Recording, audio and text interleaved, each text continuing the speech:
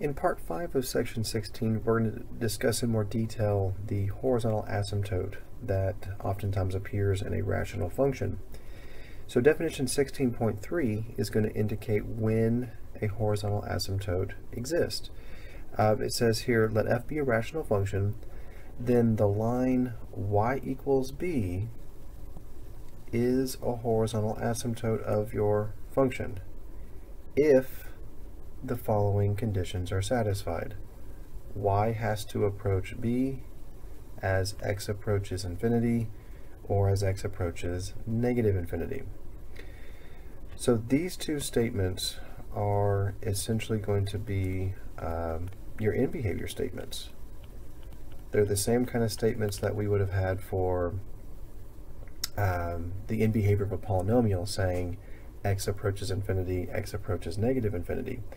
But with the horizontal asymptote, we are not expecting the arrows to go up or down. We're expecting them to approach a particular value, and they're going to be approaching that horizontal boundary. So I want to use some graphs as an example to help illustrate um, how we can find the horizontal asymptote, and then we'll discuss how an equation can be used to find the horizontal asymptote. And then of course, once we know that, then we can create the graph for ourselves. So example 16.8 is going to give us a chance to, to get into this definition a little bit more. It says, uh, the graph of several functions is given. Find the horizontal asymptote of each function. So let's take a look at part A. And in part A, we have, uh, it looks like four arrows that are going off of the window here. One to the left, one to the right, one that's going up and one that's going down. Now the arrows that are going up and going going down, those are going to be the arrows that go with a vertical asymptote. And a lot of graphing softwares do not do a good job of illustrating vertical asymptotes because they're technically not part of the function. They're there as a way for us to visualize where there is a boundary um, or a break in the graph. It helps us to see the discontinuity. So I don't really want to worry about the arrows that are going up and down. I want to focus on the arrows that are associated with the um, the right and left hand side.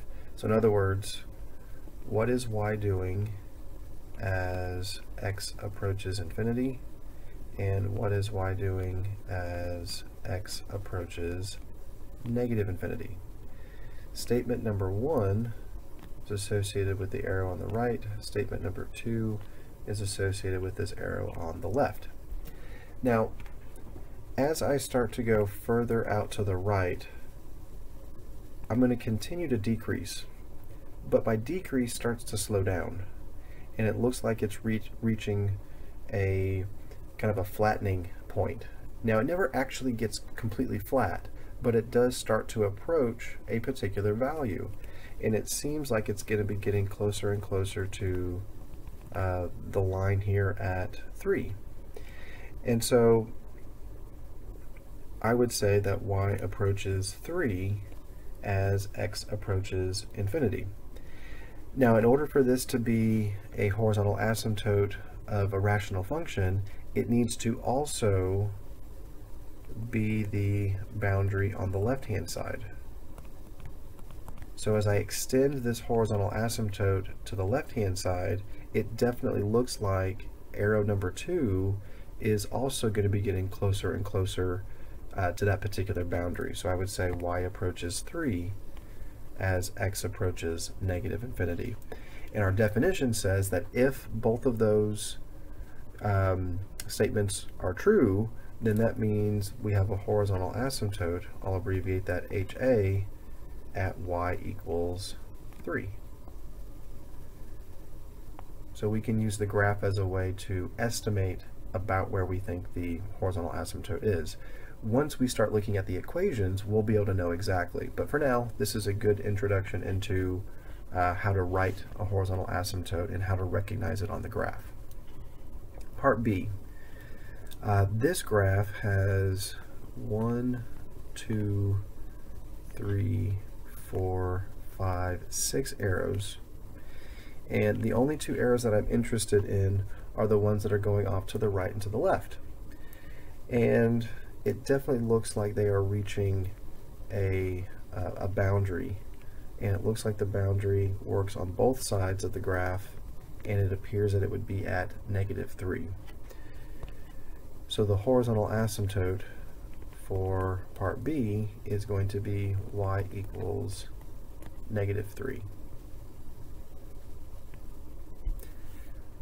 And then for part C, we'll do the same thing, but I want to focus specifically on just the arrow going off to the left and then the arrow that's going off here to the right. So to the left, it seems pretty clear that we're going to be getting closer and closer to the x-axis, which would be getting closer and closer to a value of 0, the y value of 0. And if I extend this all the way across the graph, will I have the same behavior happening over here on the very far right where the arrow is going off the window? And while it is very difficult to tell, let me erase some of what's here so we can see a little bit clearer.